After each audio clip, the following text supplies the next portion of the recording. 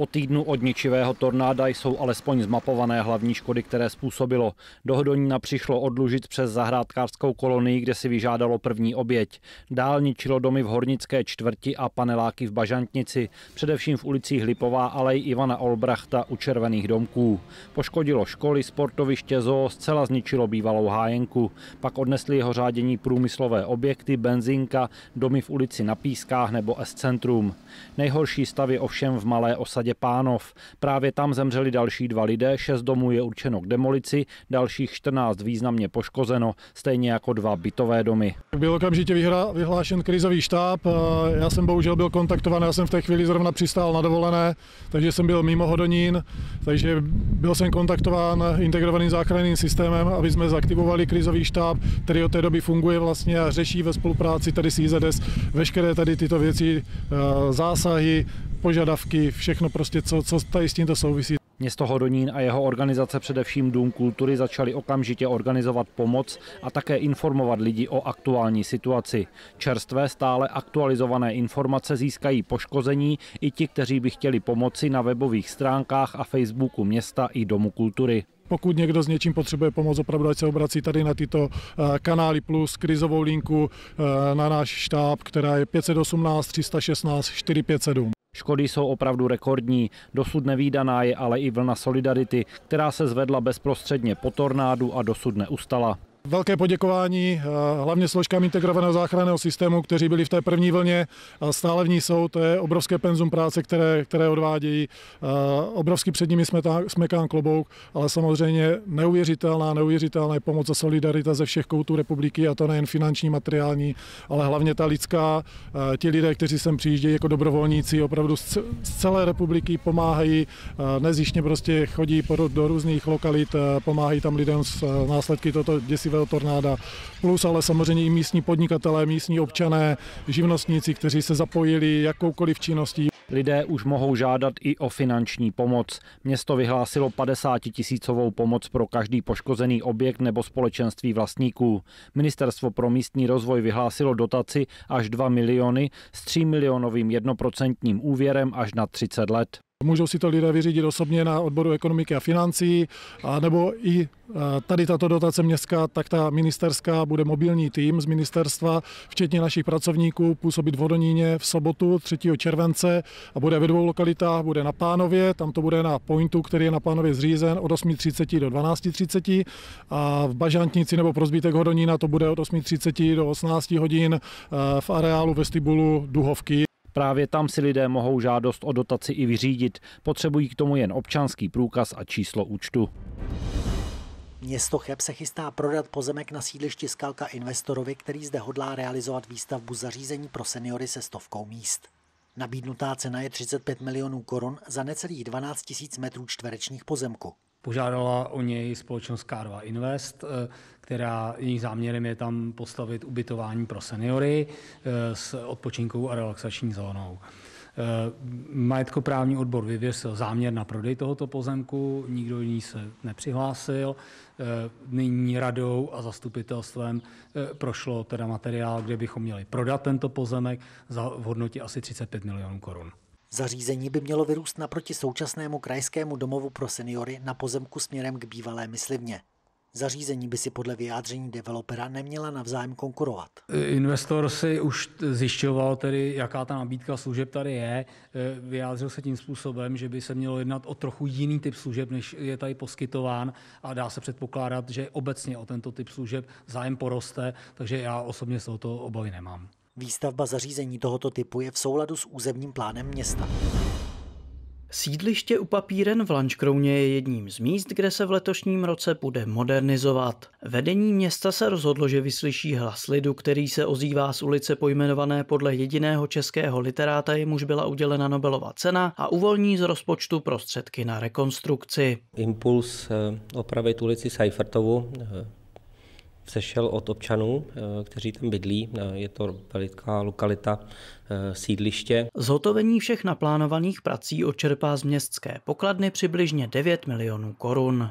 V letošním roce bychom měli zrealizovat první etapu, která je od obchodu na sídlišti až po sochu kosmonauta, to lančkrončtí budou vědět. Bude probíhat oprava komunikace, součástí té práce bude vybudování chodníků a veřejného osvětlení, a je počítáno s tím, že tam bude navýšení parkovacích míst zhruba o 74. V době uzávěrky této reportáže se zdálo, že obyvatele dotčené lokality čekají poslední letní prázdniny za aktuálního neuspokojivého stavu silnice a nedostatečného počtu odstavných ploch pro automobily. Předpoklad eh, této výstavby je, že by měla probíhat eh, v měsících září až listopad půlka prosince. Do budoucna má radnice v plánu pokračovat v opravách dalších částí ulice Seifertova a ulicní sousedících. Hlavní motivací je zvýšení komfortu nejen obyvatel sídliště u papíren.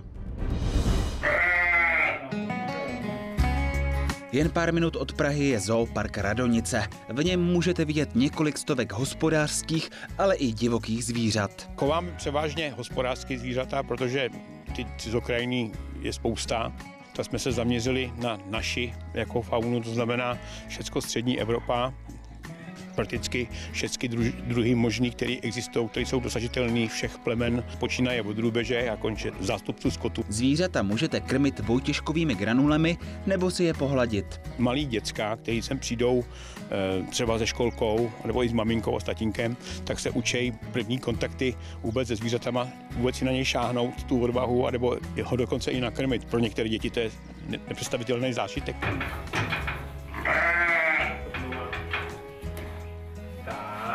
Současnosti uvidíte v zooparku řadu mláďat, kůzlátka, jehňátka, kuřátka, kachňátka nebo housátka. Je tu ale třeba i bachyně se třemi salaty. Když se na ní podíváte, tak je neustále v napětí, takže je v ní vidět ten put toho divočáka.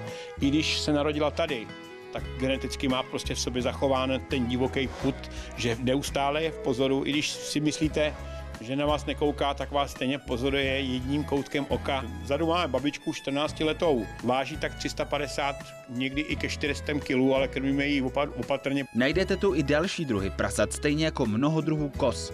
Nejzajímavější a nejpopulárnější v celém radonickém zooparku je ale zhruba 750 kg vážící bík cipísek, který rád návštěvníkům ukazuje svůj dlouhý jazyk. To plemeno z horních planin Skotska, takže se jmenuje skotský náhorní skot, takzvaný Highland, je ze 6. století, kdy byl domestikován prakticky a do dneška se s ním nehnulo a nechává se jako genetická rezerva, chová se polodivoce až divoce. Mezi přírůstky letošního roku pak patří i telátko skotského náhorního skotu, které si stejně jako všechna jiná zvířata můžete prohlédnout opravdu zblízka. Lukáš Kubát, Televize Praha. Velmi oblíbené a už tradiční promenádní koncerty u obchodního centra Fórum odstartovaly. Od června do září vystoupí na Kostelním náměstí v Ústí nad Labem každou neděli známé kapely a orchestry. Letos se tento program koná už po 12. Koncerty jsme začínali už v roce 2007, ale tento prostor nás zaujal jednak eh, výhodným postavením tady ve středu města, je tady hodně lidí a myslím, že tenhle ten program krásně oživuje kulturní dění ve městě. Tyto koncerty spořádají hlavně proto, abychom oživili kulturní dění ve městě, aby jsme dali i příležitost eh, ústeckým kapelám nebo kapelám tady v okolí Ústí nad Labem, které jsou s tímto místem nějakým způsobem spjaty. Koncerty určitě uvítám. Jsem ráda, že město ožívá a že ústečané mají možnost si poslechnout příjemnou muziku a mají to takové zpestření ve středu a v neděli. Jsem za ty koncerty velice vděčná a moje osobní poděkování především patří panu Korbelimu, že vůbec do toho šel po takové těžké době, že koncerty uspořádal a přeju mu, aby chodilo hodně návštěvníků a aby koncerty byly opravdu ty, jak se říká, ta letní perlička. Letošní promenádní koncerty u Fóra odstartovala ústecká populární kapela Brass Bombers. Na koncertech si ovšem přijdou na své i fanoušci jazzu, swingu nebo lidové hudby a dechovky. Letošní novinkou nebo trošku staronovinkou je na závěr bude Big Band Bonit a zároveň se může těšit i na školní orchestry, jako je Junior Band základní mělecké školy Evy Randové, anebo Chabakus, orchestr základní mělecké školy Chabařovice. Promenádní koncerty u obchodního centra Fórum se budou konat každou prázdninovou neděli vždy od 17 hodin až do 5. září. A jako další kapela vystoupí tepličtí Clarinet Society se svým jazzovým a swingovým repertoárem 4. července. Pro regionální televizi Ústecko Renáta Filipy. V Martinicích u Březnice se v neděli 27. června konal tradiční memoriál Jana Papouška.